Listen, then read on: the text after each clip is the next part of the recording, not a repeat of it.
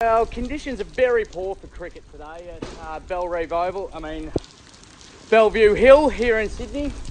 Where that is exactly, I'm not exactly sure, but it's a bugger to get to.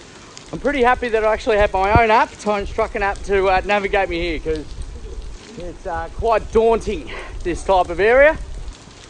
Looks like they're building some, some type of a mansion up in the background. I'm dropping off some flooring for it. We squeezed our way in. That's our way out.